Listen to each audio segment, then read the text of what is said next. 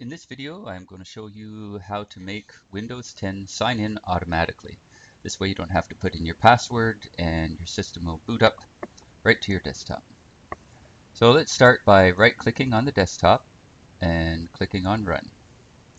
Then type in netplwiz as you see it here and click OK.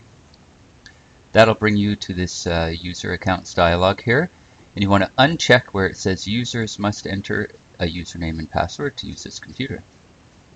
Now click OK and it will prompt you for the password for the current account. All right, so we'll go ahead and put that in. Confirm it as well. And click OK. Now when you restart your computer, you will automatically be logged in as that user.